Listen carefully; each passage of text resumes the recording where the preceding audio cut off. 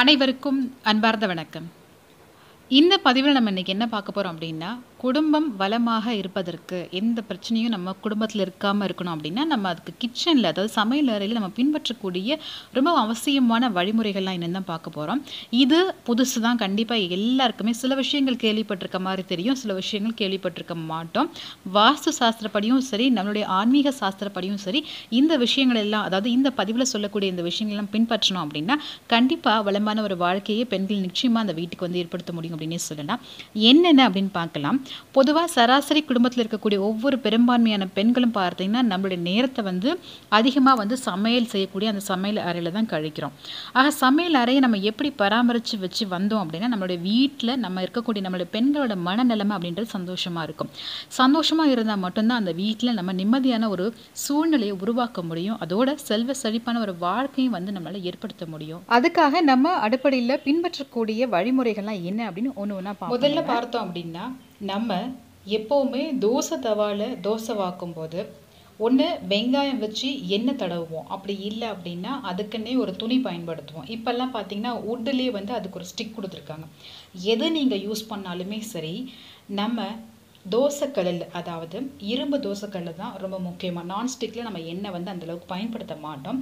இரும்பு தோசைக்கல்லில் எண்ணெய் தடவி தோசை ஊற்றும் பொழுது நீங்கள் கவனிக்கக்கூடிய ஒரு விஷயம் அப்படின்னு பார்த்தீங்க அப்படின்னா நம்ம இந்த தடவக்கூடிய இந்த எண்ணெயை அதாவது வெங்காயம் மூலமாக தடவுறோம்னு வச்சுக்கோங்களேன் ஃபார் எக்ஸாம்பிள் என்ன செய்யலாம் அப்படின்னா ஓ ஷேப்பில் தடவாமல் இந்த மாதிரி ட்ரையாங்கிள் ஷேப்பில் நம்ம தோசை தவாவில் தடவ சொல்கிறாங்க எண்ணெயை.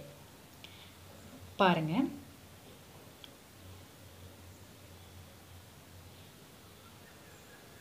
இந்த மாதிரி ஒரு ட்ரையாங்கிள் ஷேப்லேயோ இல்லை அப்படின்னா ஒரு பென்டகன் ஷேப்லேயோ வந்து நம்ம தோசை தவால எண்ணெய் விட்டு தேய்ச்சிட்டு அதுக்கப்புறம் தோசை தவால தோசை ஊற்றணும் ஏன் இப்படி சொல்கிறாங்க அப்படின்னு பார்த்தீங்கன்னா வட்டமாக ஜீரோ அப்படின்ற மாதிரி ஓ அப்படின்ற அந்த ஒரு சர்க்கிள் வந்து போடக்கூடாது வீட்டில் எப்போவுமே அப்படின்றது தான் சாஸ்திரப்படி சொல்கிறாங்க ஆக இனிமே ஏன்னா இது பொதுவாக எல்லாருமே நம்ம இப்படி தான் நான் செஞ்சுட்டு வருவோம்.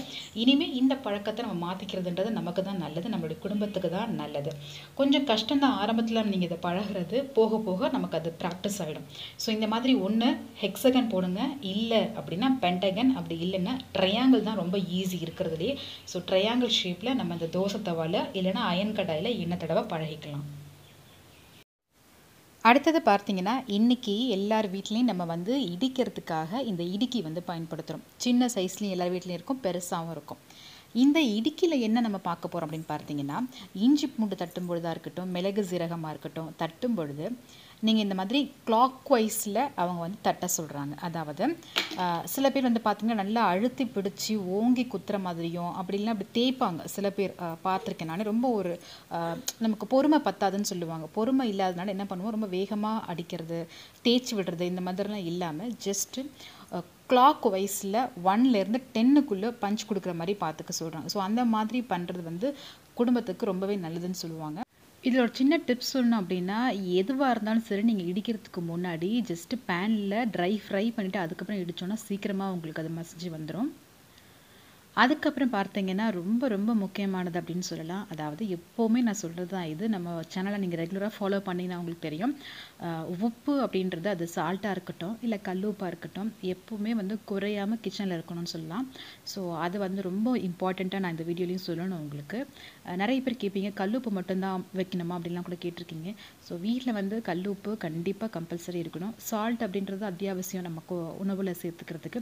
இது ரெண்டுமே வந்து நம்ம குறையாமல் பார்த்துக்கிட்டோம் அப்படின்னா வீட்டில் ரொம்பவே சுபிக்ஷமாக இருக்க முடியும். அது அதுக்கப்புறம் பார்த்திங்கன்னா வெள்ளிக்கிழமையில் உப்பு வாங்கி சேர்க்குறதுன்றது ரொம்ப மஸ்ட்டு நிறைய பேர் கேட்டிருந்தீங்க வெள்ளிக்கிழமையில் வெள்ளிக்கிழமை நீங்கள் உப்பு வாங்க சொல்கிறீங்க ஸோ இந்த மாதிரி உப்பு வாங்கி வாங்கி நிறைய சேர்ந்துருச்சு அப்படின்னு சொல்லியிருந்தீங்க. உப்பு சேருறது அப்படின்றது ஐஸ்வர்யம் பெருகும்னு சொல்லுவாங்க. அதெல்லாம் ஒரு தப்பும் கிடையாது. இருந்தாலும் அளவுக்கு அதிகமாக உப்பு நீங்கள் சேர்க்க வேண்டாம். எப்போ உப்பு வாங்கினாலும் அதை ஃப்ரைடேவாக பார்த்து வாங்கிக்கோங்க. அதுக்காக எவ்ரி ஃப்ரைடே வந்து அளவுக்கு அதிகமாக நம்ம வாங்கி வைக்கணும்னு அவசியம் இல்லை. அடுத்தது பார்த்தீங்கன்னா, நம்ம வீட்டில் வந்து குழந்தைங்களுக்காக குழந்தைங்களுக்கா இருக்கட்டும், பெரியவங்களுக்கா இருக்கட்டும், ஏதாவது சிரப்போ, உடம்பு சரியில்லைன்னா ஏதாவது டேப்லெட்ஸ் வாங்கி வச்சுருப்போம் இல்லையா? ஸோ அதை வந்து நம்ம எப்போவுமே டக்குன்னு நம்ம ஞாபகமாக கொடுக்கணும் குழந்தைங்களுக்கு, இல்லை பெரியவங்களுக்கு கொடுக்கணும் அப்படின்னு நம்ம என்ன பண்ணுவோம்னா, கிச்சனில் நம்மளுடைய கண் பார்வைக்கு நேராக இருக்கட்டும் அப்படின்னு சொல்லி வச்சுருவோம். ஸோ அந்த மாதிரி வைக்கக்கூடாது. எந்த மெடிசன்ஸுமே வந்து கிச்சனில் இருக்கக்கூடாதுன்னு சொல்லுவாங்க.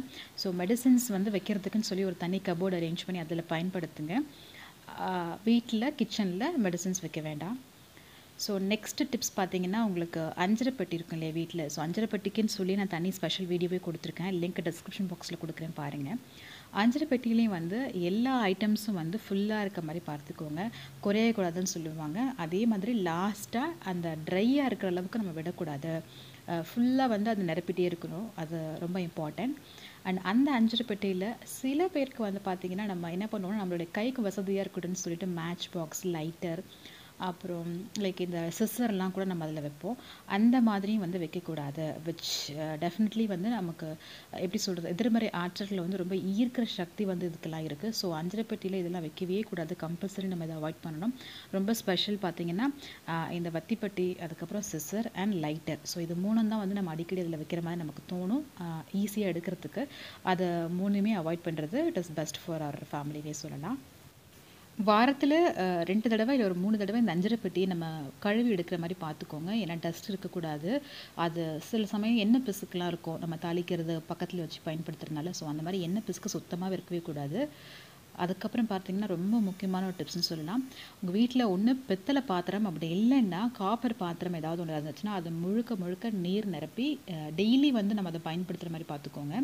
அ சில்வர் நம்ம எப்போவுமே பயன்படுத்துவோம். குடம்ல தண்ணி வச்சுருப்போம் பட் அதுவும் இல்லாமல் இந்த மாதிரி வெண்கலம், பித்தளை அப்படி இல்லைன்னா ஏதாவது ஒரு காப்பர் பாத்திரத்தில் ஒரு குடம் மாதிரி வச்சோ, அப்படி இல்லைன்னா பானை மாதிரி வச்சு தண்ணி முழுக்க நிறக்க இருக்க மாதிரி பார்த்துக்கோங்க டெய்லி. அதுக்கப்புறம் பார்த்தீங்கன்னா, ஊறுகாய். ஊறுகாய் அப்படின்றது எல்லார் வீட்லேயும் கம்பல்சரி இருக்கணும் இன்னைக்கு. ஏன்னா குபேரனுக்கு ரொம்ப பிடிச்சது இந்த ஊறுகான்னு சொல்லுவாங்க. ஆக ஊறுகாய் இல்லாத வீட்டில் குபேரன் தங்கவே மாட்டார்னு சொல்லலாம். ஊறுகாவும் மஸ்ட்டு. ஸோ அதையும் பார்த்துக்கோங்க. அண்ட் அதுக்கப்புறம் பார்த்தீங்கன்னா, இது வந்து மணி பிளான்ட். ஸோ இந்த மணி பிளான்ட் வந்து நான் எதுக்காக இங்கே வச்சுருக்கேன் அப்படின்னா, அதுக்கு தனி ஸ்பெஷல் வீடியோவே கொடுத்துருக்கேன் ரொம்ப பெரிய எக்ஸ்ப்ளனேஷன் அது. ஸோ இந்த வீடியோவில் நான் ஜாயின் பண்ண ரொம்ப லென்த்தி ஆகும் வீடியோ. அந்த வீடியோட லிங்க் நான் டிஸ்கிரிப்ஷன் பாக்ஸில் கொடுக்குற அதையும் பார்த்துக்கோங்க. மணி பிளான்ட் வந்து வீட்டில் இந்த மாதிரி ஒரு கண்ணாடி பவுலில் போட்டு வைக்கிறது அப்படின்றது ரொம்ப சூப்பரான ஒரு அற்புதமான ஒரு டிப்ஸ்னே சொல்லலாம். மணி வந்து உங்களுக்கு சேரணும் அப்படின்னா. அதுக்கப்புறம் பார்த்தீங்கன்னா, வெங்காயம். இதுதான் ரொம்ப முக்கியமாக நான் உங்களுக்கு சொல்லணும்னு அதாவது வெங்காயம் அப்படின்றது வந்து அடுப்புக்கு கீழே இருக்கணும்னு சொல்லுவாங்க. உங்களால் அந்த அடுப்படிக்கு கீழே வெங்காயம் வச்சு இந்த மாதிரி ஸ்டோர் பண்ண முடியல அப்படின்னா, அட்லீஸ்ட் ஒரு வெங்காயம் மட்டுமாவது எடுத்து நம்ம கரெக்டாக அந்த ஸ்டவ் பர்னருக்கு கீழே வைக்க சொல்லலாம். உங்களுக்கு அடுப்பு மேலே மேடையிலேயே இடம் இருந்தால் வைக்கலாம். அப்படி இல்லைன்னா கீழே இந்த மாதிரி வச்சுக்கிறதுன்றது ரொம்பவே நல்லது. ஸோ அதை நான் வச்சுருக்கேன் அடுத்தது பார்த்தீங்கன்னா, எப்படி வீட்டில் வந்து நம்ம வார வாரம் சாம்பிராணிலாம் போடுறோமோ, அதே மாதிரி அதை பண்ண முடியாதவங்களுக்கான ஒரு அற்புதமான ஒரு வழினே சொல்லலாம். அதாவது கொஞ்சமாக ஏலக்காய், அதுக்கப்புறம் கொஞ்சம் இந்த பிரியாணி இலை, அப்புறம் பட்டை, கொஞ்சம் லெமன் இதெல்லாம் கலந்து ஒரு நீர் வந்து நம்ம வந்து காய்ச்ச போகிறோம் அதோடைய புகை வந்து வீடு முழுக்க பரவுச்சு அப்படின்னா, ஏதாவது எதிர்மறை ஆற்றல் வந்து வீட்டில் இருந்துச்சு அப்படின்னா, அது வந்து உங்களுக்கு சீக்கிரமாக வந்து வெளியேறுன்னு சொல்லுவாங்க. அதனால தான் இது. ஸோ இது எப்படி செய்கிறது அப்படின்னு சொல்லி இதை பற்றியும் தனியாக ஒரு செப்பரேட் வீடியோ கொடுத்துருக்கோம் அந்த வீடியோட லிங்க்கை கீழே டிஸ்கிரிப்ஷன் பாக்ஸில் கொடுக்குறேன் பாருங்கள் இது டெஃபினட்டாக வந்து வீக்லி ட்வைஸா த்ரைஸ் ஃபாலோ பண்ணோம் அப்படின்னா, இதோடைய ரிசல்ட் வந்து ஒரு நல்ல சேஞ்சஸ் வந்து நம்ம லைஃப்பில் வந்து கொடுக்குது ஸோ இதையும் வந்து நீங்கள் மறக்காமல் ட்ரை பண்ணி பாருங்கள் இப்போ நான் சொன்ன இந்த எல்லா விஷயத்தையும் நீங்கள் கண்டிப்பாக பின்பற்றி பாருங்கள் நல்ல சேஞ்சஸ் வீட்டில் தெரியும். நன்றி. சந்திப்போம் மற்றும் ஒரு பதிவில் மிக விரைவில்.